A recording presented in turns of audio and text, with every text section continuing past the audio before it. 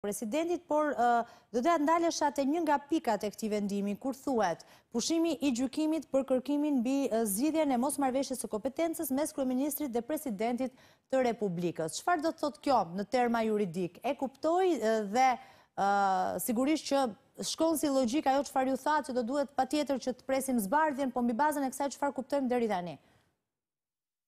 Vendimi për pushimin mhm. çdo gjykatë mund të marrë praktikisht tre lloj vendimesh, një vendim pranimi të një kërkese, një vendim rrëzimi, qoftë pjesor apo të plotë, dhe mhm. një vendim pushimi. Në të dy rastet e para, gjykata shprehet, pra e merr në shqyrtim kërkesën dhe jep një vendim mbi bazueshmërinë në ligj të kërkimeve të njërës mhm. apo tjetrës palë. Në rastin e pushimit, gjykata nuk shprehet mbi bazueshmërinë në ligj të kërkimeve të njërës apo tjetrës palë. Është një shpallje moskompetence për për t'u shprehur për këtë, apo jo?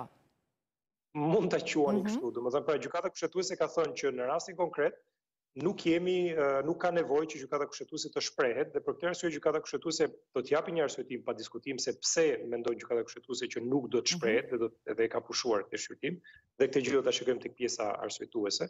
Mhm. Por gjykata kushtetuese nuk është shprehur në themel, pra nuk i ka dhënë të drejtë as njërës as tjetrës palë.